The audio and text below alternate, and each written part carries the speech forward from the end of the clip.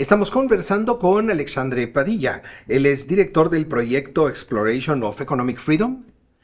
Y mm, el tema que nos ocupa hoy es el de la migración. Ah, Alexandre, ¿cuál es el impacto de la migración en los países que reciben migrantes? hay varios impactos. Hay impactos económicos, eh, hay preguntas a ver si los inmigrantes tienen algún impacto sobre las instituciones de los países que los reciben.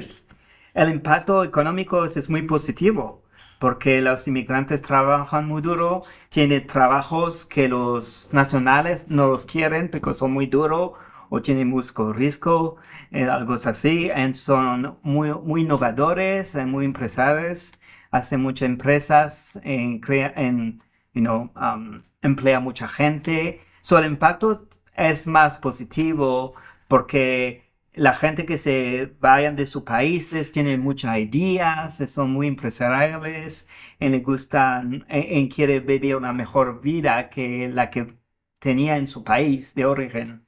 So, cuando vienen a un país rico, la primera cosa que quieren hacer es you know, tener una, una vida mejor. Y para tener una vida mejor, toman trabajos que, son, que la gente no quiere tener, porque son muy duros o tienen mucho riesgo. ¿Y cuáles son las objeciones?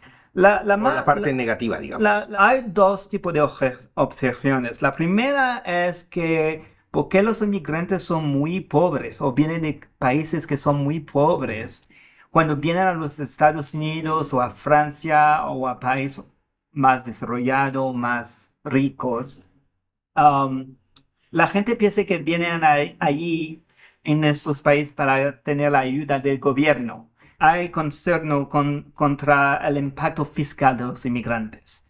Pero la realidad es que los inmigrantes trabajan mucho y pagan impuestos como los a la gente de, de, estos países pagan, impuestos a los ingresos, en sales tax, ah, impuestos a la propiedad algunas veces son, depende de los países. Si vives en un país como Francia, yo soy francés, yo nací en Francia, con un, gobierno, un estado bienestar muy, un poco más a la izquierda que los Estados Unidos y que el gobierno te puede ayudar mucho. Los inmigrantes son un poco diferentes que los inmigrantes que se vienen a los Estados Unidos cuando es muy, muy difícil para un inmigrante que tener alguna ayuda del gobierno. Porque tenemos leyes que dicen algo así para tener cualquier ayuda del gobierno. Cuando eres un, un inmigrante,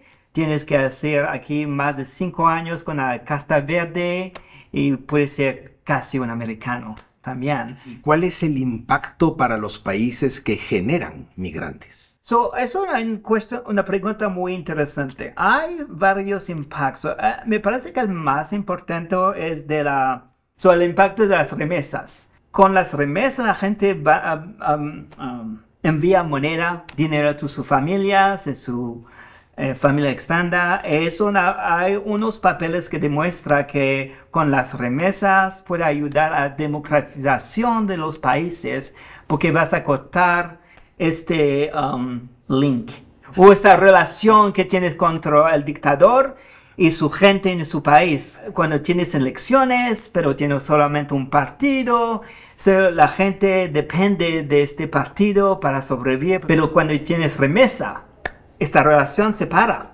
No necesita la ayuda del autocrata para sobrevivir. Si la gente puede pensar a promover la democratización. Eso es un impacto uno que es importante. El otro impacto de las remesas es que pueden ayudar a la gente a tener mejor vida. las familias que se quedan atrás en sus países están ayudadas por las remesas y eso es un importante. Países como México o Guatemala o Argentina reciben muchas remesas. En eso ayuda mucho la, las familias que no se uh, mueven a otros países. Alexandre, como en la pregunta anterior, ahora, ahora te pregunto, ¿y cuál es el efecto negativo? o efectos negativos. Los inmigrantes se van a los Estados Unidos o a países más ricos porque sus instituciones en un país no son muy buenas. So, no pueden beneficiar de su talento. Hay más corrupción, you know, el gobierno no es tan bueno, la propiedad no es tan as- a- asegurada. So, cuando esta gente se vayan, estos países pierden talentos, genios, innovadores.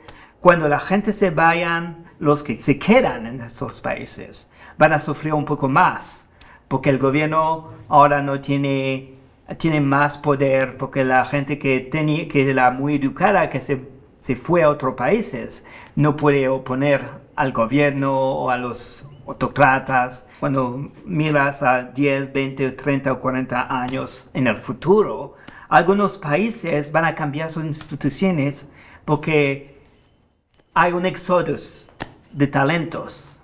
Y ahora los gobiernos se realizan que eso no es una buena cosa para la economía. Irlanda, una historia típica de lo que pasó.